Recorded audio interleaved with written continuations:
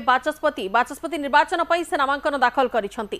ମୁଖ୍ୟମନ୍ତ୍ରୀ ମୋହନ ଚରଣ ମାଝୀ ଦୁଇ ଉପମୁଖ୍ୟମନ୍ତ୍ରୀ କନକବର୍ଦ୍ଧନ ସିଂଦେଓ ପ୍ରଭାତୀ ପରିଡ଼ାଙ୍କ ସମେତ ବିଜେପିର ବିଧାୟକଙ୍କ ଉପସ୍ଥିତିରେ ନାମାଙ୍କନ ଦାଖଲ କରିଛନ୍ତି ସୁରମା। ଆସନ୍ତାକାଲି ବାଚସ୍ପତି ନିର୍ବାଚନ ଅଛି। ଆଜି ନାମାଙ୍କନ ଦାଖଲର ଶେଷ ଦିନ।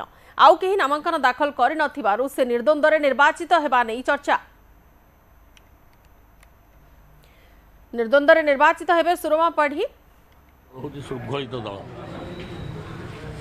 আজ সর্বসম্মতিক্রমে আমি সুরমা পাড়ীଙ୍କୁ আমি বাচস্পতি ভাবে ইয়ে কলু সমর্থন জনাইলু এবং গোটিয়ে স্বরের তাঁর না উঠিলা এবং গোটিয়ে না।